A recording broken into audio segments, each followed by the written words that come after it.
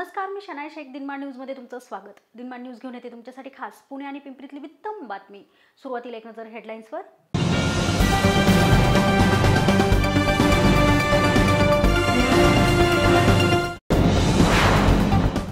उद्धव ठाकरे यांनी आपल्या कुटुंबियासह पुण्यातील लोणावळा येथील एकविरा देवीचे घेतलं दर्शन.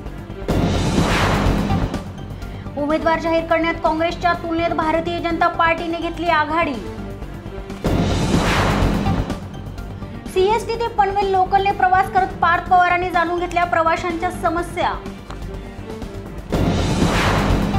आणि खासदार संजय काकडे यांनी केलं सुप्रिया सुळेंबाबतीत मोठं वक्तव्य. आता बातम्या सविस्तराने. शिवसेना आणि भारतीय जनता पक्षाच्या युतीला भरघोस यश मिळू दे ही प्रार्थना करून सेना पक्षप्रमुख उद्धव ठाकरे यांनी आपल्या कुटुंबियासह पुण्यातील लोणावळा येथील एकवीरा देवीचं दर्शन घेतलं आहे यावेळी खासदार श्रीरंग बारणे माजी आमदार अनंत तरे उपस्थित होते. आई एकविरा आमच्या घराण्याची कुलदैवत आहे त्यामुळे कोणतंही चांगलं कार्य करताना एकविरा देवीचे दर्शन घेण्याची आमची परंपरा आहे. आशीर्वाद घेतल्यानंतर प्रत्येक कार्यामध्ये यश मिळतं हा आमचा अनुभव आहे. त्याचप्रमाणे याही वेळेला मी पुढील जी शिवसेनेची वाटचाल राहील त्याकरता आई एकवीरा आम्हाला बळ द्यावं आणि या देशात आणि राज्यात युतीचं सरकार यावं अशी प्रार्थना मी देवीसमोर केल्याचं उद्धव ठाकरे यांनी पत्रकारांशी बोलताना स्पष्ट केलंय. आई एकवीरा ही आमच्या घराण्याची कुलदैवता आहे आणि कोणतेही चांगलं कार्य करताना आयुष्यामध्ये पुढे जात असताना आमची परंपरा आहे की प्रत्येक वेळेला येऊन आईचे आशीर्वाद घ्यायचे आणि तिचे आशीर्वाद घेतल्यानंतर प्रत्येक कार्यामध्ये यश मिळतं हा आमचा अनुभव आहे.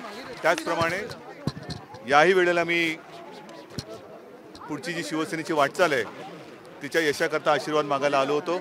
आशीर्वाद मागितलेले आहेत. शिवसेना आणि साहजिकच आहे. युती झाल्यानंतर शिवसेना आणि भारतीय जनता पक्षाच्या युतीला भरघोस यश मिळू दे ही प्रार्थना मी आईच्या चरणी केलेली आहे. उमेदवार जाहीर करण्यात काँग्रेसच्या तुलनेत भारतीय जनता पार्टीने आघाडी घेतली आणि पहिली प्रचार सभा सुद्धा कोथरूडमध्ये पार पडली आहे. मात्र अजून सुद्धा काँग्रेसला उमेदवार मिळत नाहीये. भाजपने विद्यमान खासदार अनिल शिरोळे यांना उमेदवारी न देता पालकमंत्री गिरीश बापट यांना उमेदवारी जाहीर केली आणि प्रचाराला सुरुवात देखील केली आहे. काँग्रेसच्या शहर शाखेनेही उमेदवार जाहीर झाला नसला तरीही प्रचाराचं नियोजन केलंय. शहरातील प्रमुख पदाधिकाऱ्यांची बैठक घेत प्रचाराचं नियोजन केलंय. मात्र अजूनपर्यंत काँग्रेसला उमेदवारच सापडत नाही. काँग्रेसचा बालेकिल्ला असणाऱ्या पुणे शहरात सध्या काँग्रेसची परिस्थिती चांगली पाहायला मिळत नाही. विधानसभा लोकसभा आणि महानगरपालिकेत दारुण काँग्रेसचा पराभव झाल्यानंतर शहर काँग्रेसला पुन्हा उभारी घेता आलेली नाही आहे कारण लोकसभेसाठी पालकमंत्री गिरीश बापट यांची भाजपकडून निवड झाली असताना अद्यापपर्यंत काँग्रेसकडून एकाही उमेदवाराची घोषणा झालेली नाही आहे बरीच नावं काँग्रेसमधून चर्चेत आली. प्रवीण गायकवाड असतील अरविंद शिंदे असतील मोहन जोशी असतील आणि आज पृथ्वीराज चव्हाण यांच्या नावाची सुद्धा चर्चा होती. मात्र त्या चर्चेला पृथ्वीराज चव्हाणांनी पूर्ण विराम दिला. मात्र अद्याप आतापर्यंत काँग्रेसकडून कोणताही उमेदवार घोषित करण्यात आलेला नाही आहे त्यामुळे शहर काँग्रेसमधल्या कार्यकर्त्यांमध्ये एक उदासीनता पाहायला मिळतीये. कॅमेरामन शिवाजी साळुंकेसह मी शनाया दिनमान न्यूज पुणे. मावळ लोकसभेचे राष्ट्रवादी काँग्रेस काँग्रेस महाआघाडीचे अधिकृत उमेदवार पार्थ पवार यांनी आज टी ते पनवेल लोकल रेल्वेने प्रवास करून प्रवाशांसोबत तसेच कॉलेज तरुण तरुणींसोबत चर्चा करून त्यांचे प्रश्न समजून घेतले लोकसभा निवडणुकीचं बिगुल वाजले. मावळचा रणसंग्राम राष्ट्रवादीचे पार्थ पवार आणि शिवसेनेचे विद्यमान खासदार श्रीरंग बारणे यांच्यात होणार आहे दोन्ही उमेदवाराकडून प्रचाराला सुरुवात करण्यात आली आहे. पार्थ पवार हे पहिल्यांदाच राजकीय आखाड्यात उतरले असून संपूर्ण महाराष्ट्राचं लक्ष मावळच्या लढतीकडे लागले. पार्थ यांची उमेदवारी जाहीर झाल्यानंतर संपूर्ण राष्ट्रवादी एकजुटीने कामाला लागली आहे तर स्वतः पार्थ पवार यांनी संपूर्ण मतदारसंघ पिंजून काढण्यास सुरुवात केली आहे विद्यार्थ्यांशी संवाद असेल रिक्षाने प्रवास असेल जुन्या कार्यकर्त्यांच्या भेटीगाठी सुरू असताना आज पार्थ पवार यांनी लोकल ट्रेनने प्रवास केला आहे सी एस टी ते पनवेल असा लोकलने प्रवास करून त्यांनी प्रवाशांसोबत संवाद साधला आहे तसेच यावेळी त्यांनी कॉलेज तरुण तरुणींसोबत सुद्धा चर्चा करून त्यांचे प्रश्न जाणून घेतले आहेत प्रतिनिधी मोहन दुबे दिनमान न्यूज पिंपरी चिंचवड. पुण्याच्या महापालिका निवडणुकीदरम्यान भाजप सत्तेत येईल असं भाकीत संजय काकडे यांनी केलं होतं. ते खरं सुद्धा ठरलंय. मात्र त्यामुळे आता सुळेंबाबत त्यांनी केलेलं भाकीत कितपत खरं ठरतं हे येणारा काळच ठरवेल. बारामती लोकसभा मतदारसंघात सुप्रिया सुळेंचा एका लाखापेक्षा अधिक मतांनी पराभव होईल असं भाकीत भाजप शिवसेना महायुतीचे पश्चिम महाराष्ट्राचे प्रचार प्रमुख संजय काकडे यांनी केलाय. पुण्याच्या महापालिका निवडणुकीदरम्यान भाजप सत्तेत येईल असं भाकीत काकडे यांनी केलं होतं आणि ते खरं सुद्धा ठरलंय. त्यामुळे आता सुप्रिया सुळेंबाबत त्यांनी केलेलं भाकीत कितपत खरं ठरतं हे येणारा काळच ठरवेल. आता वेळ झाली एका छोट्याशा ब्रेकची पण ब्रेकनंतर तुम्ही पाहत राहा दिनमान न्यूज स्मार्ट सिटीत प्रत्येकजण झालाय स्मार्ट प्रत्येक गोष्टीत प्रत्येकाला हवाय स्मार्टनेस होय हीच बाब लक्षात घेत आम्हीही झालोय स्मार्ट प्रत्येक बातमी देतोय निर्भीडपणे तेही स्मार्ट वेळ म्हणूनच तर सोशल मीडियावर गाठलाय तीस लाखांपेक्षा जास्त व्ह्युअर्सचा पल्ला. तोही स्मार्ट पुणेकरांचा. प्रत्येक बातमीत मिळेल एक अचूकता आणि सत्यता. म्हणूनच सोशल मीडियावर जिंकतोय हजारो लोकांची मने. प्रत्येक बातमीच ठरते प्रभावशाली. म्हणूनच होते ती फॉरवर्ड आणि सुपरफास्ट असाच करणार प्रवास प्रत्येक क्षेत्रात तुमच्या साथीने. पाहत रहा दिनमान न्यूज एक निर्भीड व्यासपीठ. ब्रेकनंतर तुमचं पुन्हा एकदा स्वागत. कॅन्सरग्रस्त असलेल्या पंच्याऐंशी वर्षीय जेनुबिया यांचा कुक्कुटपालनाचा व्यवसाय होता आणि यातून ते पैसे साठवत बँकेत ठेवत गेले. मात्र मुलीनेच बँक अधिकाऱ्यांशी संगनमत करून बँकेच्या लॉकरमधून बनावट चावीच्या आधारे त्यांची रोकड काढून घेतली आहे. मौल्यवान वस्तूही चोरल्या. याबाबत वरील बँकांच्या अधिकाऱ्यांना पूर्वकल्पना देऊनही त्यांनी याकडे दुर्लक्ष केलं आहे जेनिबिया यांचा कुक्कुटपालनाचा व्यवसाय होता. त्यातून त्यांनी हडपसर भागात मालमत्ता खरेदी केली आहे. ती त्यांनी आजारपणामुळे विकली आणि त्यातून मिळालेली रक्कम त्यांनी आपले पती हयात असताना संयुक्त खात्यात शेअर्स म्युच्युअल फंड आणि ठेवींच्या स्वरूपात ठेवली होती. पतीचं दोन हजार सोळामध्ये निधन झाल्यानंतर मुलींनी आईच्या आजारपणाचा असहाय्यतेचा फायदा घेऊन त्यांनी जोनोबिया आणि त्यांच्या पतीच्या बनावट स्वाक्षऱ्या करून सदर मालमत्ता आपल्या आणि काही अज्ञात व्यक्तींच्या नावावर करण्याचा प्रयत्न केला आहे या प्रकरणाची अधिक माहिती आशुतोष श्रीवास्तव यांनी आज पत्रकार परिषदेत दिली आहे. ये बेसिकली जो हमारे साथ जो बैठी है ओल्ड लेडी हैं मिसेस पटेल ये इन्होंने कंप्लेंट फाइल किया था पुलिस स्टेशन में लश्कर पुलिस स्टेशन में। तो इस बारे में था बेसिकली कि इनके जितने भी पैसे थे बैंक ऑफ़ इंडिया में कॉस्मोस बैंक में, इनके हस्बैंड के साथ जो बैंक अकाउंट था, ये बैंक ऑफ़ इंडिया में और कॉस्मोस बैंक में, इन्हें बाद में ये पता चला कि इनके हस्बैंड का नाम डिलीट करके जो है इनकी डॉटर का नाम उसके अंदर ऐड हो गया है और इनके जितने भी लाइफ टाइम जो इन्होंने मेहनत किया पोल्ट्री फार्म बिज़नेस वगैरह में, उससे जितना भी प्रोसीड्स आया था, जो इन्होंने म्यूचुअल फंड्स और फिक्स डिपॉजिट्स में इन्वेस्ट किया था वो सारा पैसा मेच्योर होकर इस अकाउंट में आया और बाद में इनका ये एलिगेशन है कि इनके जो डॉटर हैं जुबिन उन्होंने ये पूरे पैसे को उस अकाउंट से अपने पर्सनल बैंक अकाउंट्स में ट्रांसफ़र किया और कुछ ऐसे लोगों को भी बेनिफिट दिया जो इसके अंदर बाकी को एक्यूज़ हैं। और ये सब इसके अंदर बेनिफिशियरी हैं और कोर्ट ने जो है कैंटोनमेंट कोर्ट ने इसमें बहुत ही अच्छा एक ऑर्डर किया है, जिसमें पुलिस को डायरेक्शन दिया है एफआईआर रजिस्टर करने के लिए। Bank of India Cosmos Bank और जितने भी अदर एक्यूज हैं उनके अगेंस्ट में दो अदर अलग अलग केसेज में। और इसका रिपोर्ट जो है बनाने के लिए और जो उचित कार्रवाई है वो करने के लिए। तो ये इस तरीके का केस है। या फसवणुकीबाबत पुणे पोलिसांना अनेकदा तक्रार दिली मात्र त्यांनी कोणतीही कारवाई केली नाही त्यामुळे शेवटी कंटाळून श्रीवास्तव यांच्यामार्फत न्यायालयात दाद मागितली आहे असं जेनिबिया यांनी सांगितलंय am an invalid person with suffering from cancer, blood pressure, and a lot of other problems occurred due to my age. And I have not been able to move out much. And I have to depend on medicine to do all the necessary requirements from day to day. There's nothing I have to say other than that I've been cheated in a very inhuman manner which is very difficult for me to accept at this age. I'm 85 now. जनजागृती समुपदेशन आणि औषधांच्या नियमित सेवनामुळे महापालिका हद्दीतील एड्सग्रस्त रुग्णांची संख्या घटली आहे यातील दोनशे नऊ स्त्रिया गर्भवती असल्याचंही समोर आलंय. हा आजार होण्यामध्ये सर्वाधिक प्रमाण अल्प उत्पन्न गटातील तसेच कामगार वेड बांधकाम कामगार चालक अशा गटातील नागरिकांचं आहे. हाय रिस्क पालिकेकडनं शासनाच्या सूचनानुसार गटातील लोकांची वारंवार एच आय व्ही तपासणी रक्त तपासणी केली जाते सोबतच त्यांचे पालिकेकडून दर सहा महिन्यांसाठी कंत्राटी समुपदेशन सुद्धा करण्यात येत आहे. या पद्धतीने एड्स विषयक जनजागृतीकरता समुपदेशकांची महापालिकेकडून नियुक्ती केली आहे. कारमधून येऊन घरफुड्या आणि चोऱ्या करणाऱ्या दोन सराईत गुन्हेगारांना एरवडा पोलिसांनी अटक केली आहे. त्यांच्याकडून घरफुडीचे पंधरा गुन्हे उघडकीस आले असून अठरा लाख पंचेचाळीस हजारांचा येवस हस्तगत करण्यात आला आहे. जयवंत उर्फ जड्या गोवर्धन गायकवाड आणि नितीन उर्फ हुबळ्या शंकर जाधव असं अटक करण्यात आलेल्यांची नावे आहेत. पेट्रोलिंग करत असताना दोन्ही आरोपींबद्दल पोलिसांना माहिती मिळाली. या माहितीच्या आधारे दोघांनाही सापळा रचून पोलिसांनी अटक केली आहे. एरवडा पोलीस ठाण्याच्या हद्दीत दिवसाने रात्री घरफोड्या तसेच बसमध्ये चोऱ्या केल्याची कबुली या दोघांनी दिली आहे. याच्यामध्ये जयवंत उर्फ जयड्या गोवर्धन गायकवाड राहणार औन वय बत्तीस आणि नितीन उर्फ हुबळ्या शंकर जाधव हा मुंडवा येथे राहणार आहे. जो की तडेपार सुद्धा आहे सहा महिन्यासाठी. तर यांना आमच्या टीमने चोरी करताना पकडलेलं आहे. तर याच्यामध्ये यांचं पूर्व रेकॉर्ड असं आहे की दिवसा आणि रात्री चोऱ्या करायचं बसमध्ये चोऱ्या करायचं. आणि आणि जवळपास यांच्याविरुद्ध अठ्ठ्याऐंशी गुन्हे दाखल आहेत. आणि या ह्याच्यामध्ये आत्ताच्या ह्याच्यानुसार एरोडा पोलीस स्टेशनचे पंधरा गुन्हे आम्ही उघड केले उघडकीस आणलेले आहेत.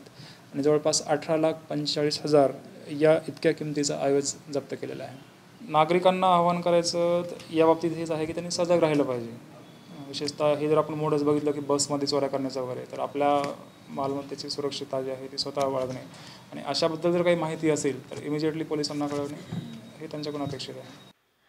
घराणेशाहीचा आरोप करणारे मुख्यमंत्री देवेंद्र फडणवीस यांना विखे आणि मोहितेंचं घराणं कसं काय चालतं? असा पलटवार राष्ट्रवादी काँग्रेसचे अध्यक्ष शरद पवार यांचे नातू आणि पुणे जिल्हा परिषद सदस्य रोहित पवार यांनी केला आहे पिंपरी चिंचवडमध्ये स्थलांतरित नागरिकांशी संवाद साधताना रोहित पवार यांनी ही टीका केली आहे. आपल्याला माहीत नाही पण त्या काळात राज ठाकरेंची कॅपॅसिटी असताना सुद्धा नंतर त्यांनी विचार कोणाचा केला? म्हणजे मला आपल्या सर्वांना एवढंच सांगायचं की कसं असतं की घराणेशाहीवर बोलत असताना ते काय बोलतात हेही समजून घेतलं पाहिजे. आधी काय बोलले तेही समजून घेतलं पाहिजे. आता सीएम साहेब जर घराणेशाहीवर बोलत असतील मग तुम्हाला सुजय विखे कशाला पाहिजे? मग तुम्हाला रणजित मोहिते कशाला पाहिजे? मग तुम्हाला अजून काय काय बरेच लोक घेतले त्याची नावं पण आता आठवण इतकी लोक घेतली. मग मला तुम्हाला काय सांगायचं की घराणेशाहीवर बोलत असताना मग तुम्ही ज्या पद्धतीने वागता त्याकडे पण कुठेतरी बघितलं पाहिजे. दुसरं आता घराणेशाहीवर जर कॅपॅसिटी असेल ही लोकशाही आहे. समजा मी जिल्हा परिषदला उभं राहिलो पडलो असताना मी घरी जाऊन बसलो असतो. पण मी जिल्हा परिषदला उभं राहिलो तिथं काम मी केलं.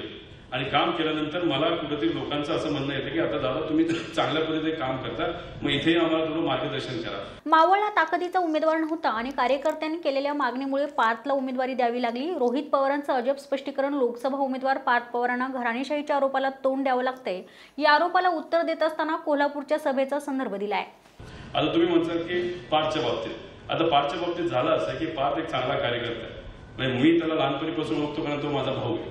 पण सगळ्यात महत्वाची गोष्ट काय की त्याला नवीन गोष्टी शिकायला आवडतात. पण मावळ तालुक मावळ मतदारसंघामध्ये आपण जर बघितलं तर मावळ मतदारमध्ये मतदारसंघामध्ये बघितलं तर पार्थ हा गेले सात आठ महिने फिरत होता. वर्ष झालं फिरत होता. फिरत असताना तिथं वेगवेगळ्या चर्चा झाल्या की आपल्याला मावळमधून कोण उमेदवार द्यायचा? मग हा द्यायचा का तो द्यायचा? अशी सगळी चर्चा झाली. आता सगळ्यात महत्वाची गोष्ट की मावळमध्ये आपल्याकडे चांग- मावळ मतदारसंघामध्ये आपल्याकडे एकदम ताकदवार उमेदवार नव्हता. आता तो उमेदवार नसताना मग पार जेव्हा फिरत होता तो जेव्हा मावळमध्ये गेला कुठेतरी पीसीएमसी मध्ये गेला. तर तिथे असणारे जे सर्व जे कॉर्पोरेटर असतील तिथे असणारे सर्व पदाधिकारी असतील मग ते ज्या पद्धतीने तो वागतो ज्या पद्धतीने तो लोकांच्या खांद्यावर हात ठेवतो ज्या पद्धतीने त्याचा संवाद असतो ज्या पद्धतीने तो आय टी इंग्लिशमध्ये बोलतो हे सर्व जे विषय आहेत ना हळूहळू तिथल्या असणाऱ्या पदाधिकाऱ्यांना लोकांना आणि तिथे काही ठराविक जे कुटुंब आहेत त्या सर्वांना असं वाटायला लागलं की हा आपला उमेदवार होऊ शकतो. म्हणून तसं जसं पुढे पुढे गेलो तसं आणि काही लोक असंही म्हणतात की पवार साहेब आधी म्हणाले की कुणी उभा नाही राहिला ताई असं म्हणाले पण एक समजून घ्या की जेव्हा पार्थ फिरत होता तेव्हा पारचं नाव नव्हतं. पण पार्थ जसं जसं जास्त फिरत गेला तसं लोकांकडनं आणि कर्जतमध्ये मित्रपक्ष आणि पनवेलमधले मित्रपक्ष कोकणातले काय असतील त्या सर्वांनी पारचं नाव पुढे आणलं. तसं पारचं नाव हे आपल्या पार्टीकडनं न येता पारचं नाव हे लोकांकडनं आलं हे सगळ्यात महत्वाची गोष्ट आपण सर्वांनी समजून घेतली पाहिजे. मुख्यमंत्री इतक्या मोठ्याने बोलत होते कदाचित समोरून टाळ्या वाजत नव्हत्या. म्हणून तसं बोलत असावेत. पण त्यांच्या भाषणात विकास सापडत नाही. काय बोलतात तर घराणेशाही हा नेता तो नेता फक्त इतकेच आरोप. यात महत्त्वाचं म्हणजे घराणेशाहीवर जोर देतात. मग मला सांगा मुख्यमंत्र्यांना विखे घराणं मोहिते घराणं यांना कसं काय चालतं? आता पार्थ कष्ट घेतोय पण त्याच्यावर फक्त घराणेशाही असा आरोप केला जातोय. व्यवसायात घराणेशाही चालते मग राजकारणात का नाही चालत? असं म्हणत टीकाकारांना रोहितने उत्तर दिलंय. टीव्ही बघत होता कोल्हापूरची मोठी सभा होती. ती कोणाची होती? शिवसेना आणि बीजेपीची होती. आता त्याच्यामध्ये मी जे ऐकलं तर चीफ मिनिस्टर साहेब असं म्हणत होते की गेल्या साठ सत्तर वर्षामध्ये पश्चिम महाराष्ट्रामध्ये काही डेव्हलपमेंट नाही झाली. मराठवाड्यात पण मी येतोच नंतर व पश्चिम विभागात काही डेव्हलपमेंट झाली नाही. पश्चिम विभाग हा सगळा खड्ड्यात टाकला. असं त्यांचं स्टेटमेंट होतं. मोठ्या मोठ्या टाळ्या पडल्या. खाली तर टाळ्या कोणी वाजवत नव्हतं जास्त कारण त्यांना भाषाच कळत नव्हती. कारण पुढे बसलेली सर्व लोक तुम्हाला माहिती कुठं बसमध्ये भरून पार कर्नाटका कर्नाटकामधून आणलेली सोडून द्या. पण त्यांच्या आसपास बसलेली जे सर्व लोक होते ना ते फार मनापासून टाळ्या वाजवत होते. ते कोण होतं? की मोहिते कुटुंबातलं एक जण होतं कदाचित विखे कुटुंबातलं एक जण होतं एक पाटील कुटुंबातलं एक जण होतं आणि अजून एक आपले शिवसेनेचे काय त्यांचं नाव माने एक होते माने एक धैर्यशील माने होते. आता ते कुठले? पश्चिम महाराष्ट्रातले. त्यांच्या आजोबांनी काय काय केलं? कदाचित त्या नातवंडाला खरंच माहीत नाही. पण विषय असा आहे की याच्या आधीची जी पिढी होती त्यांनी खरंच कष्ट केले. आताचे राजकीय जे लोक आहेत त्यांच्याकडनं पण कामं होत राहिली. पण पूर्वी समजा मोहिते साहेबांचं घेतलं तर त्यांना कॉपरेटिव्ह म्हणजे सेक्टरमध्ये फार मोठं काम त्यांचं. तसेच सध्याची परिस्थिती पाहता संविधानाने मतदानाचा दिलेला हक्क भविष्यात हिरावून घेतला जाईल का अशी भीतीही रोहित पवारांनी व्यक्त केली आहे. नोकरीवर ठेवायचे आज दहा लोकांवर आले. अशी परिस्थिती झाली. त्यामुळे आपण अभ्यास करत असताना त्या खोलात जावं लागेल. आणि जर आपण अशाच पद्धतीने खरं तर चाललो तर पुढे जाऊन परिस्थिती अशी होईल की आपल्याला जे संविधानाने दिलेला हक्क आहे तो म्हणजे वोटिंगचा तो पण आपल्यातून काढला जाईल का असा भीती सर्वांना आहे. त्यामुळे कोणीतरी बोलायला घेतलं त्याला जेलमध्ये टाकलं जातं कोणी फेसबुकवर बोलायला गेलं तर त्याच्यावर कुठला तरी एफ आय आर होतो. आणि कुणीतरी समजा एखादा चांगला मोठा वक्ता असेल तर एखादा लेखक असेल तर त्याचं काय होतं ते तुम्हाला सर्वांना माहिती. अरे पेंग्विनपेक्षा वाघ सिंहाना जपा आणि जगवा प्लॅस्टिक बंदीमुळे तीन लाख बेरोजगार झाले. आणि हेच सरकारचं विजन नाही असं मत सुद्धा त्यांनी यावेळी व्यक्त केले आज साडेचारशे छोट्या कंपन्या त्यात बंद झाल्या. आज आपल्या राज्यामध्ये साडेतीन लाख लोकांना नोकरीतून हात धुवावा लागले कारण का प्लास्टिक अचानक त्यांनी बंद केलं. त्यामुळे प्लास्टिक असं नाही आहे ना की मुंबई सारख्या शहरामध्ये जिथे ह्युमिडिटी जास्त तिथे टेम्परेचर जास्त आहे तिथं तुम्ही पेंग्विन आणता. अरे पेंग्विन आण ना काय हरकत नाही पण जगलं पाहिजे ना त्यासाठी काळजी तर तुम्ही घ्या. लांबचा विचार करा त्याला एसी लागतं त्याला हे लागतं. त्याच्यापेक्षा आपले असणारे वाघ जे आहेत वाघाला तुम्ही जिवंत ठेवा सिंहाला जिवंत ठेवा पेंग्विनचं नंतर बघू. पेंग्विन काय आपल्या देशामध्ये असणारे ते पक्षी नाहीये. त्यामुळे विचार काय करतात की नाही आता प्लास्टिक बंदी झाली पाहिजे तर त्याचा इम्पॅक्ट हा मोठ्या प्रमाणात आपल्यावर येतो. नोटबंदीचा इम्पॅक्ट तुम्ही झोपडपट्टीवर जाऊन बघा तिथे छोटे मोठे व्यवसाय हे बंद होण्याच्या लायकीवर आले. आज कपडे शिवणारी लोक आहेत ना पूर्वी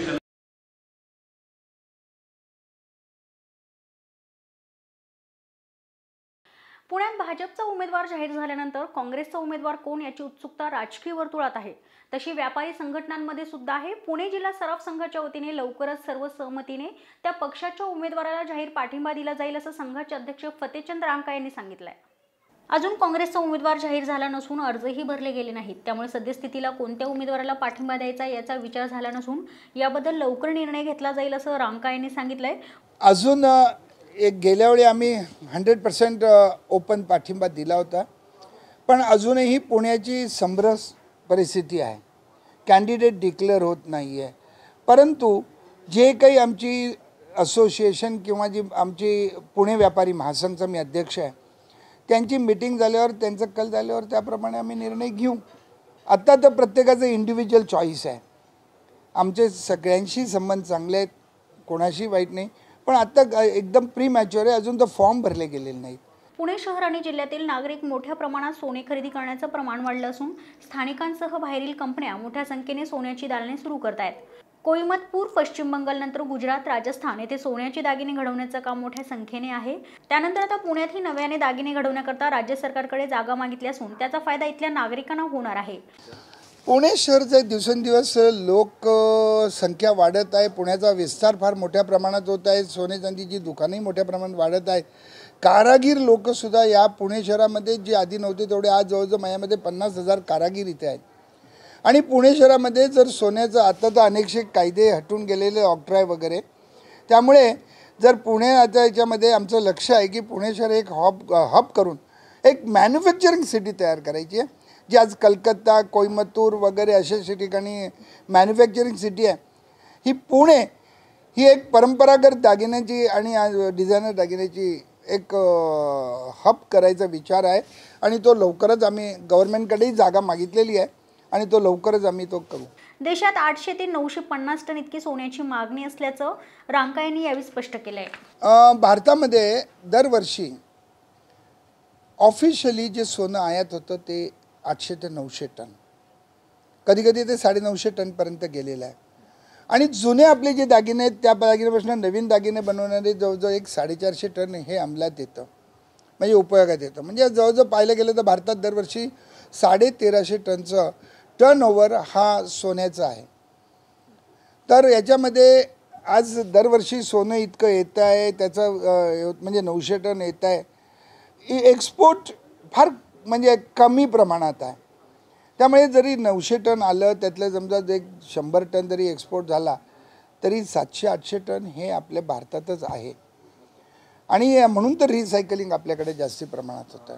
शास्त्रीय संगीतात ग्वाल्हेर घराण्यात पीएच डी केलेल्या पुण्यातील ख्यातनाम शास्त्रीय गायिका डॉक्टर रेवा नातू यांच्या सांगीतिक प्रवासाबद्दल जाणून घेतले आमच्या प्रतिनिधी तन्मय मेंद्रे यांनी. भारतीय शास्त्रीय संगीतामध्ये गायनाला अनन्यसाधारण असं महत्त्व आहे. गायन वादन नृत्य यांना एकत्रितपणे संगीत असं म्हटलं जातं. आणि संगीतामध्ये गायन ही कला अतिशय पारंपरिक असून त्याचा प्रवाह हा अतिशय विभिन्न तऱ्हांनी आपल्याला येताना दिसतो. आणि प्रत्येकाचा प्रत्येक कलाकाराचा त्याकडे बघण्याचा दृष्टिकोन हा वेगळा असतो. तर आज आपण बातचीत करणार आहोत ग्वाल्हेर घराण्याच्या ख्यातनाम गायिका ज्यांनी नुकतीच पी एच डी केलेली आहे या गायन क्षेत्रामध्ये त्या डॉक्टर रेवा नातू यांच्याशी आणि त्यांच्या सांगीतिक कारकिर्दीविषयी आपण आढावा घेणार आहोत. नमस्ते रेवाताई. नमस्ते. मृणालताई. मला तुम्हाला असं विचारायला आवडेल की तुम्ही गायन या क्षेत्राकडे कशा वळलात किंवा तुमचं प्रशिक्षण कोणाकडे झालं आहे त्याविषयी काय सांगाल? गायन हे माझ्या ॲक्च्युली रक्तातच आहे. माझे वडील आकाशवाणीचे प्रसिद्ध तबलावादक पंडित विनायक फाटक आणि त्यांच्यामुळे मला अनेक कलाकारांना अगदी जवळून बघण्याची संधी मिळाली. माझ्या वडिलांप्रमाणेच माझे आजोबासुद्धा तबलावादक होते. त्यांचे काकाही सुप्रसिद्ध कीर्तनकार होते लक्ष्मणबुवा फाटक. त्यामुळे हे संगीताचा वारसा त्यांच्याकडनंच माझ्याकडे आलेला आहे. आणि मला तुम्हाला असं विचारायला आवडेल की संगीताविषयक तुमच्या संकल्पना काय आहेत?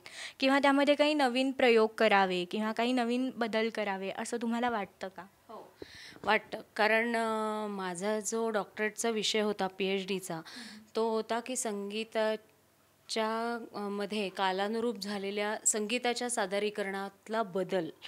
म्हणजे सादरीकरण हे पूर्वी अगदी चार चार पाच पाचच मैफली चालायच्या. पण आता त्याचा स्पॅन थोडा खाली आला आहे म्हणजे दोन तासात पूर्ण मैफल विदाऊट इंटरवल असं मग लोकांचा तेवढंच ऐकू शकतात. तर साधारण काय काय पूर्वीचं होतं आणि आता काय त्याच्यामध्ये कालानुसार बदल झालेत? तर हे मी जेव्हा मुलाखती घेत गेले आणि अगदी मालिनीताई राजूरकरांच्याही घेतली किंवा उल्हाजा कशाळकरांची घेतली यशवंतबुवा जोशींची घेतली ह्या सगळ्या मोठ्या कलाकारांची मुलाखत मला घ्यायला मिळाली आणि त्यांचे विचार मला कळले.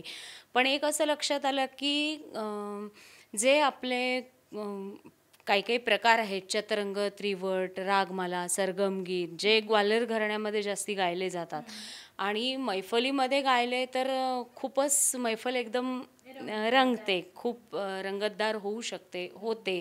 रादर मी तसा प्रयत्नही करत असते की चतरंग गायचा किंवा तराणे गायचे असं सगळं. तर मला असे वेगवेगळे प्रयोग नक्कीच करायला आवडतात.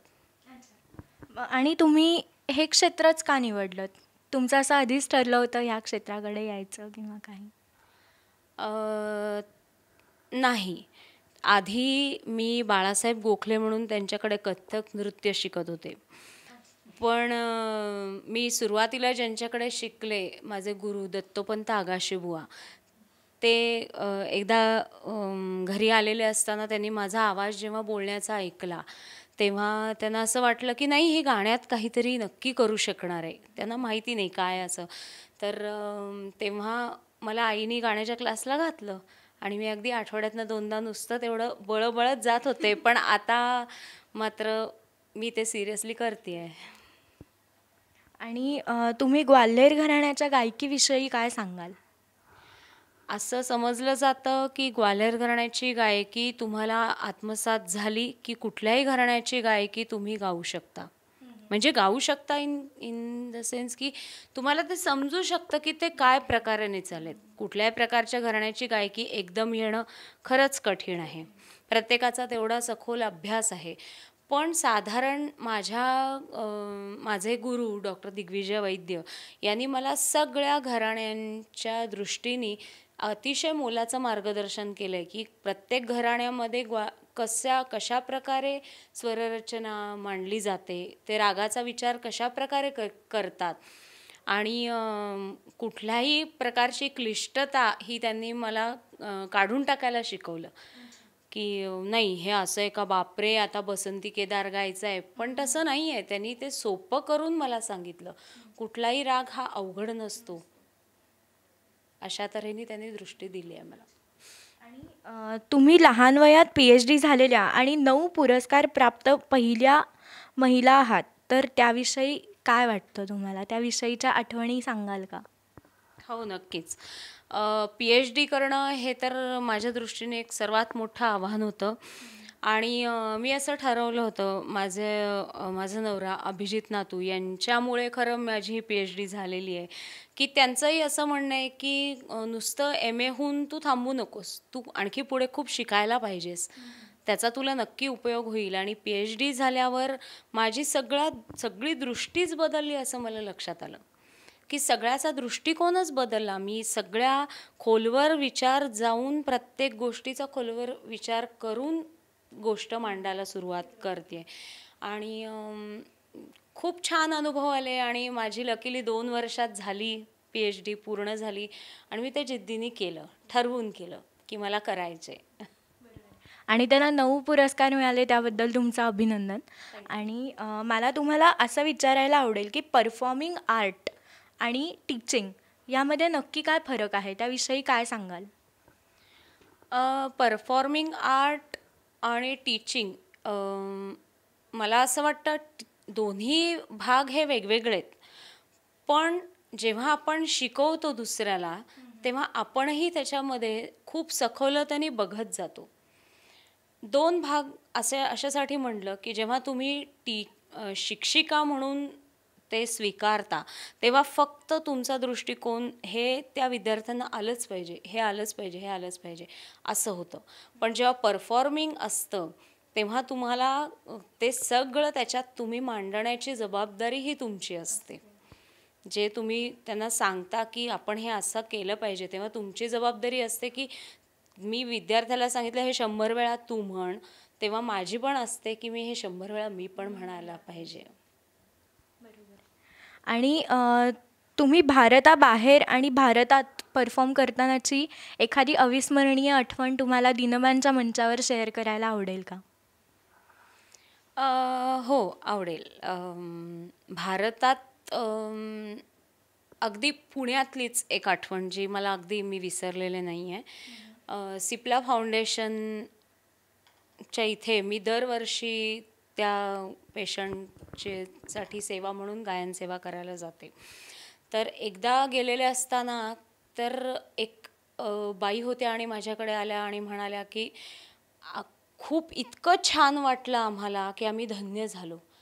आणि मी ल माझ्या सुदैवानी की त्यांना जे मनात होतं की हे हे मला ऐकायचं आहे तुम्ही ऐकवता का? आणि मी त्यांना ऐकवलं. ते. आणि त्यांच्या चेहऱ्यावरचा आनंद हा वेगळाच होता. म्हणजे तो म्हणजे त्याचं वर्णनही करता येणार नाही.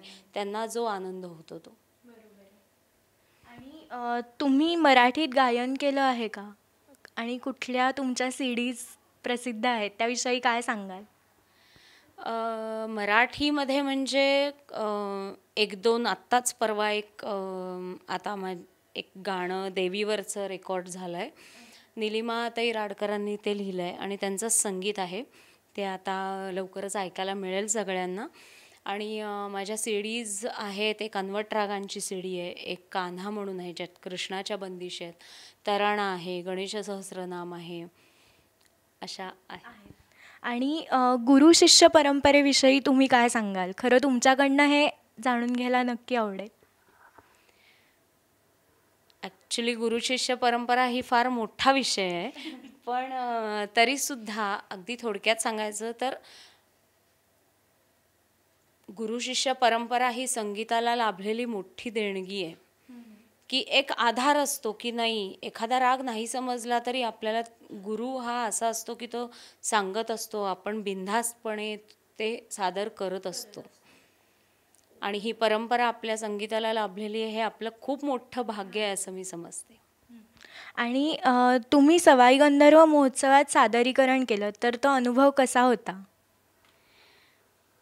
अर्थातच त्यावेळेला थोडंसं दडपण असतं की पण तरीसुद्धा एका क्षणाला असं होतं की आता आपण एवढ्या मोठ्या स्टेजवर तिथे गाणार मग समोर काय असेल? पण नाही.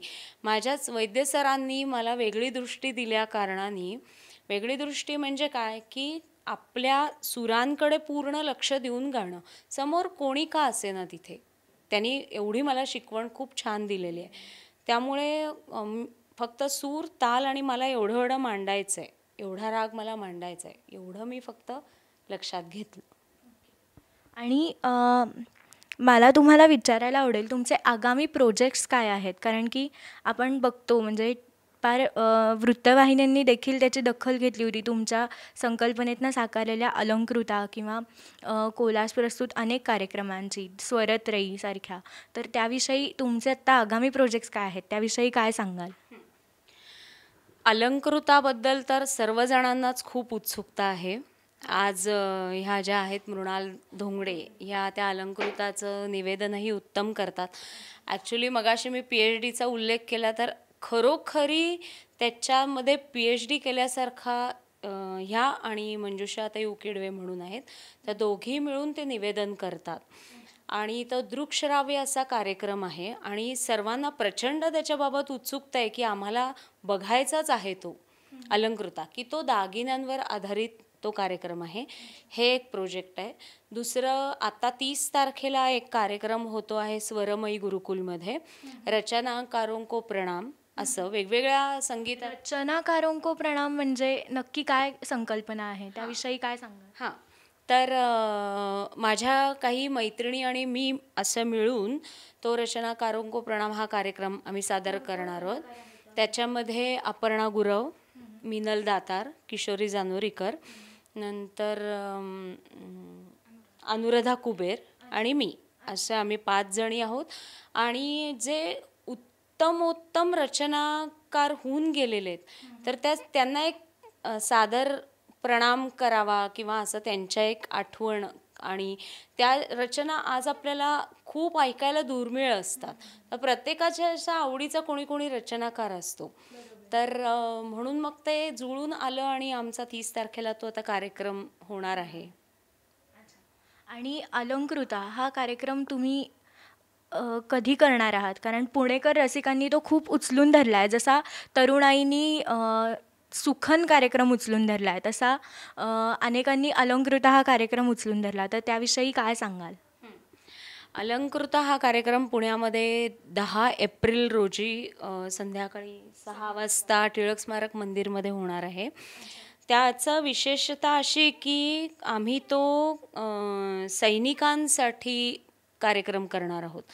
अक्षय कुमार जे नट आहेत तर त्यांचं जे भारत के वीर म्हणून ॲप आहे संस्था आहे हां. तर त्यांच्यासाठी म्हणून आम्ही हा कार्यक्रम सादर तुम्ही त्याचं काही मानधन वगैरे घेतलेलं आहे देणार आहात? हां. खरं तर आम्ही स्टेजवर जे कलाकार सादर करणार आहोत ते कोणीही काहीही यासाठी मानधन घेणार नाहीत. आणि असं आम्ही ठरवलेलंच आहे कारण ते आम्ही सगळे काय असतील आणि त्याला तिकीट नाही आहे तो सगळ्यांना खुला आहे मोफत प्रवेश आहे. आणि एवढंच माझं सांगणं आहे की प्रत खूप जणांनी विचारलेलं पण आहे आणि आम्हाला आशाही आहे की बरीच गर्दी होईल त्या कार्यक्रमाला आणि आमच्या सग आपल्या सगळ्यांकडनं त्या सैनिकांना काही देणगी ऐच्छिक देणगी. व्यवस्थित जसं पुलवामा झालं तर हां. तर अनेक गोष्टी असतील अजूनही आपल्याला कळलेल्या नसतील. त्यांना खरोखरी पैशाची मदत गरज आहे आत्ता. म्हणून ते आम्ही आता दहा एप्रिलला करणार आहोत. आणि मी मगाशी तुम्हाला विचारलं तसं अजून ग्वाल्हेर घराण्यातलं जे तुम्ही त्रिवट वगैरे म्हटलात तर त्याविषयी काही कार्यक्रम करावा किंवा नवीन संकल्पना समोर आणावी तर त्याविषयी काय सांगाल? हो नक्कीच. तसाही एक कार्यक्रम एक त्याचं काम चालू आहे माझं. आणि एकवीस जुलै ही तारीख आहे त्या कार्यक्रमाची. तर त्या कार्यक्रमामध्ये चौदा पंधरा जणं मिळून आम्ही ते सगळं सादर करणार आहोत. नारद मंदिर सदाशिव पेठेमध्ये. हां तर त्याचं क- नंतर पेपरमध्ये वगैरे ते कळेलच. पण तोही कार्यक्रम अगदी ऐकण्यासारखा असेल की हे सगळे प्रकार नुसते प गाण्याच्या परीक्षे कुठले प्रकार आहेत त्यामध्ये? त्याच्यामध्ये चतरंग पंचरंग त्रिवट तराणा खयालनुमा नंतर सरगम गीत स्वरार्थ प्रबंध कटाव लक्षणगीत आणखी काही प्रकार असे घेतलेले आहेत. म्हणजे ही नावंसुद्धा आपल्याला माहिती नसतात पण त्या नावांचा सखोल अभ्यास तुम्ही त्यामध्ये मांडणार आहात असं दिसतं आहे आणि मला तुम्हाला विचारायला आवडेल ताई एक शेवटचा प्रश्न की जी तरुणाई आत्ता संगीत क्षेत्रामध्ये कार्य करते आहे किंवा येऊ घालते आहे तर त्यांना तुम्ही एक गुरु म्हणून काय मार्गदर्शन कराल किंवा काय सांगाल? की बुवा त्यांनी काय करावं किंवा काय करू नये? कुठल्याही बा कलेमध्ये ती संगीत असो किंवा आणखी चित्रकला काही असो अभ्यास करणं हे एक महत्त्वाचं आपलं काम असतं. विद्यार्थ्याचं. की गुरुनी जे काय सांगितलं आहे तर ते नीटपणे ते ऐकणं किंवा आपण त्याचा रियाज करणं. तर ते करत जायचं एवढंच मला वाटतं. मृणालताई मला तुम्हाला असं विचारायला आवडेल की तुम मगाशी उल्लेख केल्याप्रमाणे अलंकृता हा जो कार्यक्रम आहे त्याच्या निवेदनाविषयी तुम्ही काय सांगाल थोडक्यात? हा अगदीच वेगळ्या प्रकारची संकल्पना आहे की दागिन्यांवर आधारित कार्यक्रम असा कधीही झालेला नाही की दागिने हे अनेक बंदिशींमध्ये अनेक गाण्यांमध्ये डोकावताना आपल्याला दिसलेत. पण फक्त ते गाण्यात का येतात ह्याच्यामागे कोणी कधी विचार केला नाही आहे तर आपल्या साहित्यामध्ये किंवा आपल्या रोजच्या बोली भाषेमध्ये सुद्धा अनेक दागिने आपल्याला दिसतात. वेगवेगळ्या गाण्यात ते आढळतात कारण आपल्या जीवनाचा अविभाज्य भाग आहे. दागिन्यांवरच कार्यक्रम आहे. अगदी म्हणजे शिरोभागाच्या दागिन्यांपासून पावलापर्यंत सगळे म्हणजे एक शंभरहून जास्त दागिने याच्यामध्ये आम्ही त्यांची माहिती देतो. आणि निवेदन हे नेहमीसारखं म्हणजे आता निवेदन आणि मग गाणं असं या कार्यक्रमाचं स्वरूपच नाही आहे तर गप्पांमधून म्हणजे आम्ही दोघीजणी मी आणि मंजुषा उकिडवे अशा दोघीजणी आम्ही निवेदन करतो. आणि आमच्या गप्पातून त्या दागिन्याचा विषय आला की रेवा गाणं सादर करते. म्हणजे असा तो सगळ्यांना सामील करून घेणारा असा कार्यक्रम आहे. म्हणजे असा टिपिकल आता ऐकूया. अशा टाईपचा कार्यक्रम नाही आहे आणि शंभरहून जास्त दागिन्यांची नावं कळतील. म्हणजे नवीन पिढीला तर न खूप ज्ञान मिळेल त्यातून. आणि जुन्या पिढीला आपल्या आजीची पणजीची एखादी नथ आठवेल एखादा तन्मणी आठवेल असं असं सुद्धा त्या कार्यक्रमातून होऊ शकेल. शिवाय दागिने म्हणजे फक्त नटणं आहे का? तर नाही. दागिन्यांना एक सामाजिक आर्थिक पार्श्वभूमी आहे. त्यांचं महत्त्व काय आहे? म्हणजे फक्त त्यांचं मूल्य हे लक्षात जरी घेतलं दागिन्यांचं तरी त्याचं किती महत्त्व आहे आपल्या संस्कृतीमध्ये. हां. सामाजिक सांस्कृतिक आर्थिक सगळं महत्त्व दागिन्यांचं हे निवेदनातून आम्ही सांगतो. आणि खास ह्या कार्यक्रमासाठी गाणी नवीन बांधली आहेत रचली आहेत की ज्यातून त्या दागिन्यांची सुंदर वर्णनं लोकांना ऐकायला मिळतील. सो हे नुसतं मनोरंजनाचा हा कार्यक्रम नाही आहे मला असं म्हणावंसं वाटेल की हा प्रबोधरंजनाचा कार्यक्रम आहे. आणि सगळ्या वयोगटातील लोकांना आवडेल असा प्रयत्न आहे. मला तुम्हाला विचारायला आवडेल की तुम्ही आत्ता जे सांगितलं अलंकृता आणि त्रिवट किंवा तुमचे आगामी प्रोजेक्ट्स तर त्याची झलक एक दिनमानच्या मंचावर सादर कराल का? धातू परिष्कृत करून सौंदर्य निर्मिती करण्यामागे कारागिराचे प्रचंड कष्ट आणि परिश्रम आणि कसब असतं. आणि हे कसब पणाला लागलं की अनेक प्रकारचे हार तयार होतात. आणि मग घालणाऱ्याला प्रश्न पडतो की हा हार घालू का तो हार? आणि मग सखीला विचारलं जातं सखी ग सखी ग सखी सखी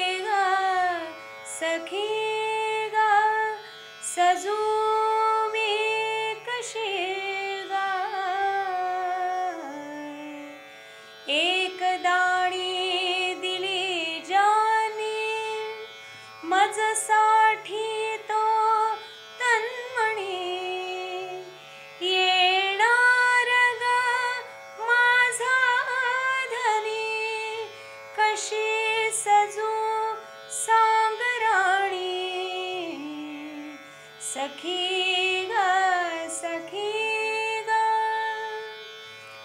प्रियतमते पाहणार लेऊ कामी चंद्रहार पोहे हार सूर्यहार रेवडीचा सोनहार. लक्ष कोटि चंड किरण सुप्रचंड विलपती अंब चंद्र वदन बिंब दीप्त माझी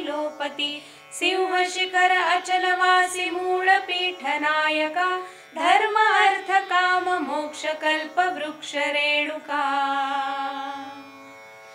आकर्ण अरुणवर्ण नेत्रश्रवणि दिव्यकुण्डले डोलतादिपुष्पहार अष्टदण्डि अष्टदण्डिबाजुबन्दि कङ्कणादिमुद्रिका धर्मार्थकाम मोक्षकल्पवृक्षरेणुका भारतीय शास्त्रीय संगीतामध्ये अनेक प्रकार आहेत आणि त्याचे उपशास्त्रीय संगीतामध्ये ठुमरी दादरा चतरंग त्याचप्रमाणे पंचरंग त्रिवट असेही प्रकार शास्त्रीय संगीतामध्ये आहेत हे आपल्याला आज कळलं. आणि हा शास्त्रीय संगीत हा एक सखोल अभ्यास विषय आहे आणि त्याचा आपण जितका अभ्यास करू तितका कमीच आहे. हेच आपल्याला आज सांगितलं आणि आपण सांगीतिक बातचीत केली डॉक्टर रेवानातू यांच्यासोबत. ऑस्ट्रेलिया अमेरिका अशा अनेक ठिकाणी ज्यांनी अनेक कार्यक्रम करून भारताचं प्रतिनिधित्व केलं आहे. अशा भारतातील ख्यातनाम गायिका ख्यातनाम शास्त्रीय गायिका डॉक्टर रेवानातू त्यांच्याशी आपण आज दिनमानच्या मंचावर बातचीत केली. कॅमेरामन शिवाजी साळुंखे यांच्यासह तन्मयी मेंदळे दिनमान न्यूज पुणे. पुन्हा एक नजर हेडलाईन्सवर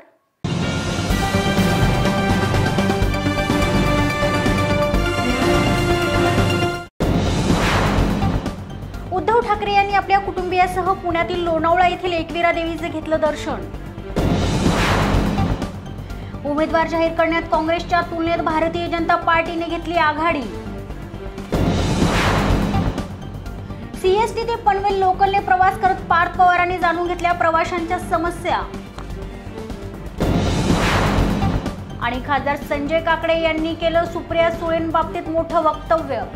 याचबरोबर आजचं बातमीपत्र इथे संपलं. तुम्ही पाहत रहा दिनमान न्यूज. एक निर्भीड व्यासपीठ. नमस्कार.